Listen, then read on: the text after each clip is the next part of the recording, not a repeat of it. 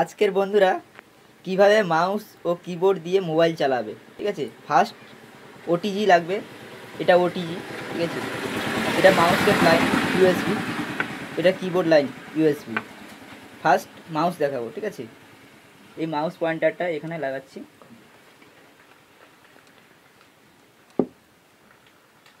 তারপর বন্ধুরা, কীভাবে কন্ট্রোল করবে মাউস দিয়ে? এই মাউস পয়েন্টার এটা এই হোম পেজ ধরো ক্রোম খুললাম। নেট চালাচ্ছি, ঠিক আছে?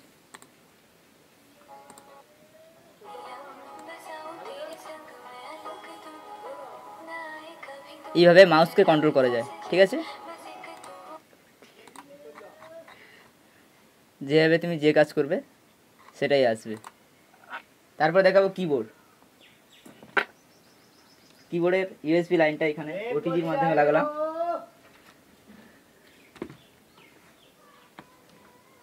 অ্যারো কির মাধ্যমে সব কিছু কাজ করতে হবে।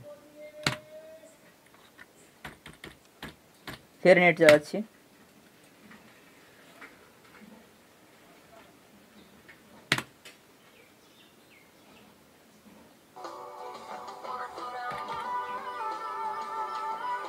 কিবোর্ডের মাধ্যমে ভলিউম বাড়ানো যাবে, কমানো যাবে। ঠিক আছে? বন্ধও করা যাবে।